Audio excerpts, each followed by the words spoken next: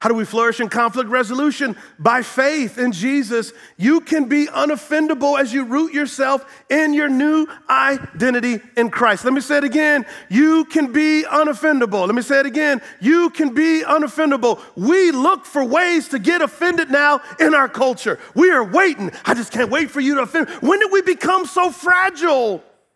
You offended me. With what? Oh, well, you know, they're talking about, about, about, you. Oh, really? Well, so is Jesus. And guess what he said?